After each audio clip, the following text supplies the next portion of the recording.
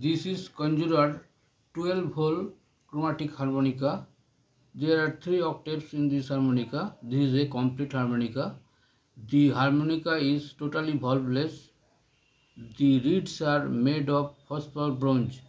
There are 48 reeds in this harmonica. Now I will play the harmonica.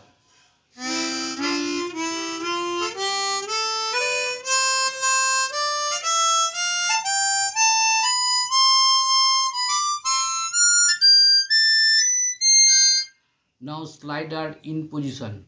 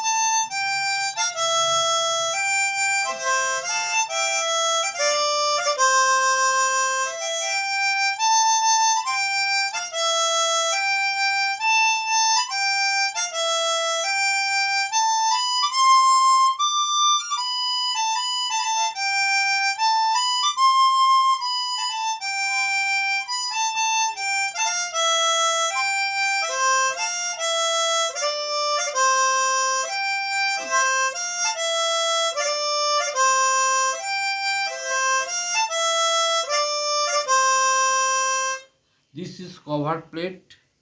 This is slider very smooth slider. This is comb. This comb is made of plastic.